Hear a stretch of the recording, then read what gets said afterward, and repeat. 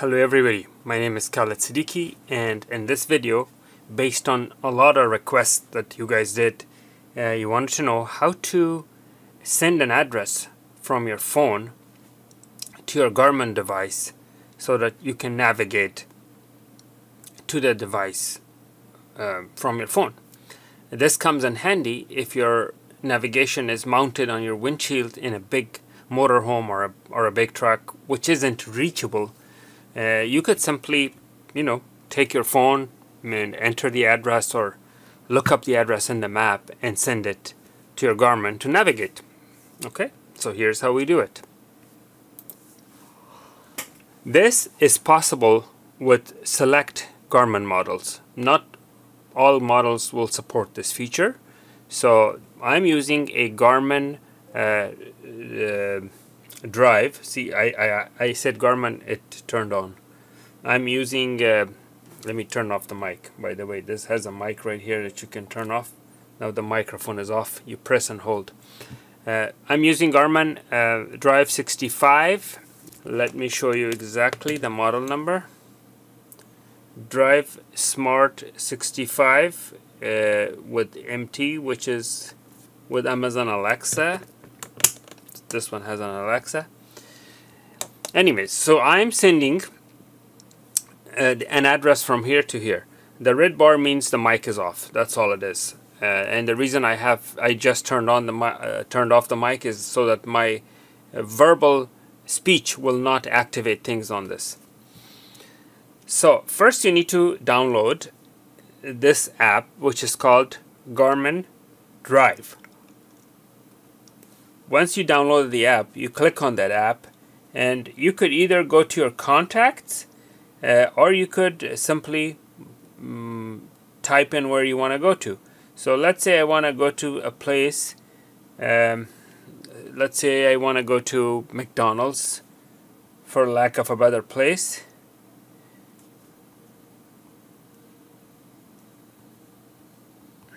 So McDonald's now the closest McDonald's to me is this one. So you want to read which one. Let's say I want to choose this one, not the closest one, the one after that. And then I click on go. Okay. Now this has been sent to this device. And now this is seeking satellite to go to that McDonald's.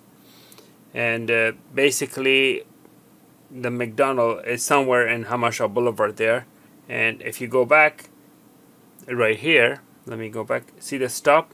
The stop means if the, if there is no route there wouldn't be stop highlighted. The stop would be this color. It would be like that like grayed out. When there is an active route then you have the stop activated. So that's what uh, uh, right now I uh, cancel that. I'm gonna send another place to, to teach you. Uh, so let's say I'm going to uh, uh, Rancho San Diego AAA. That's right there. I, I was I entered that earlier. Let's go. I'm, uh, I'm going to Las Vegas. Okay. Las Vegas. So let's go to North Las Vegas or uh, let's go to North Las Vegas. Las Vegas, Nevada. Ready? Click. It's 261 miles. Go. Now it's acquiring satellite, but the address has been already sent to this. Since I brought this GPS inside my office in, in a video shooting studio, uh, it's indoors, so it doesn't have satellite signals. But if it did, it would start the navigation and you would be on our way.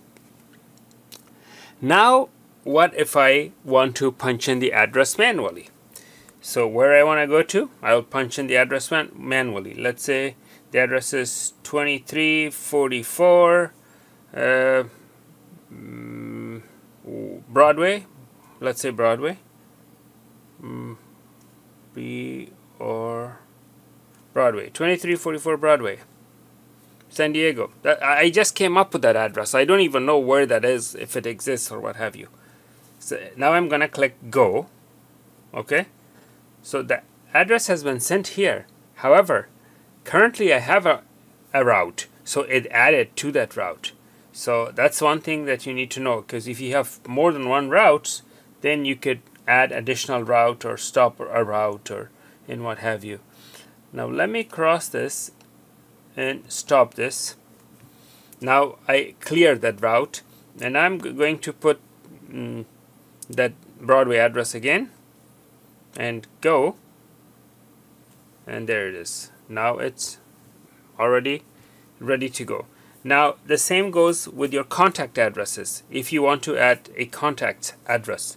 So here's how you do that. In order to go to the address uh, of your contacts first you have to click on the device that you have whichever device you have and then you go to the settings. Now you go to that device and sync contacts enable contact sync. Allow. So now the contacts are synced to that. And now you can navigate from your contacts. Alright go to your contacts. So I'm gonna do Bob Stall uh, uh, Chevrolet. Bob Stall the, that one. Bob Stall Chevrolet dealership in La Mesa. I click on that. So that's their address. In order to go to that uh, to share this uh, with my Garmin I go at the bottom share click on share contact and then click on Garmin Drive. Send. It went to this. Now this is going to be navigating to the uh, Chevy dealership. And that's how you do it from your contacts. So yeah it's a pretty handy feature to have so you don't have to reach to your Garmin every time you try to enter an address. I hope this was educational. Please make sure to like and subscribe. Thank you for watching